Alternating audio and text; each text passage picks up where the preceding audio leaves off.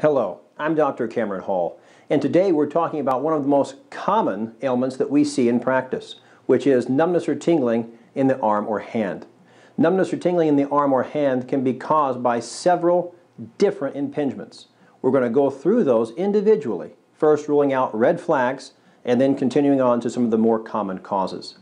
The first thing, you must rule out red flags, which in this case are going to be cervical impingements, such as nerve root impingement coming out of the foramen, central cord compression, or disc herniation.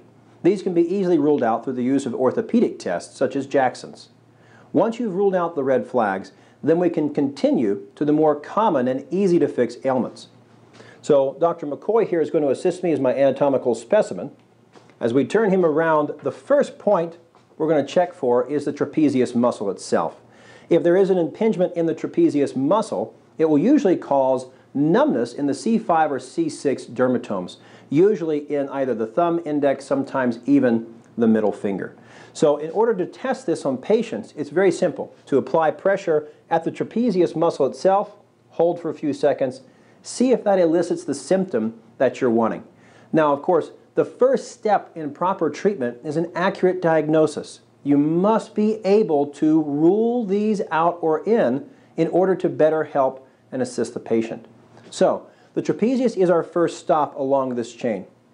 The next stop is going to be the teres muscle group as it comes underneath the spine of the scapula itself and around to the shoulder. Now, nerves that come through the scapular foramen can be impinged by the teres muscle group. Oftentimes, this will cause numbness in the ulnar distribution, coming down into the pinky and half of the ring finger. The next stop in this chain is the tricep muscle.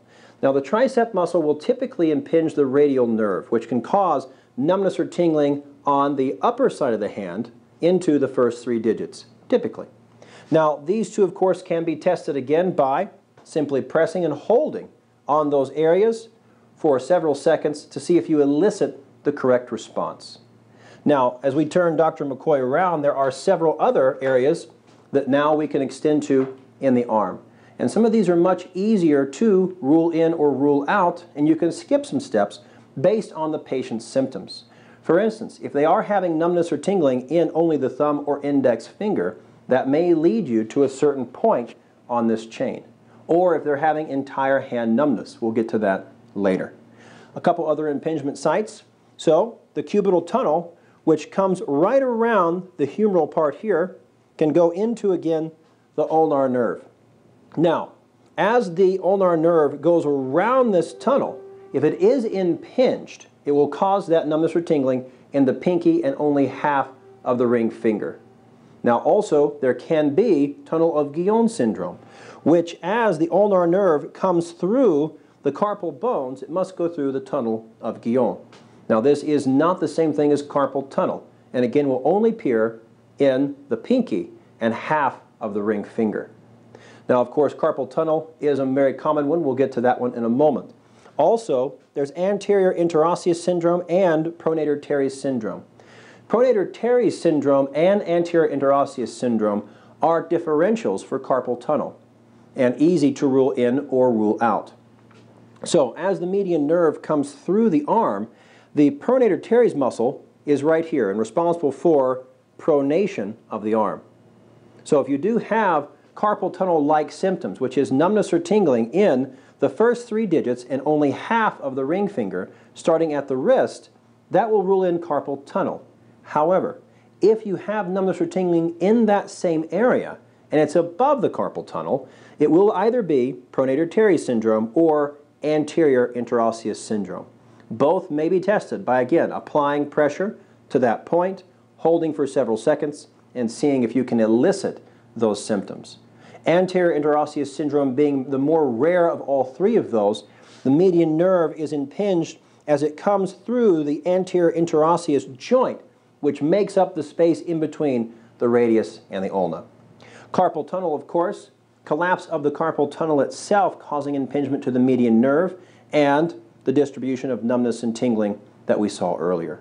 Now, all of these have very easy treatments. Each one of these issues that we've gone through there are several other aspects you need to be aware of. brachial plexus impingements, for instance, and also the oldie but goldie thoracic outlet syndrome. Thoracic outlet syndrome used to be a garbage can diagnosis for any time you had numbness or tingling going into the arm or hand.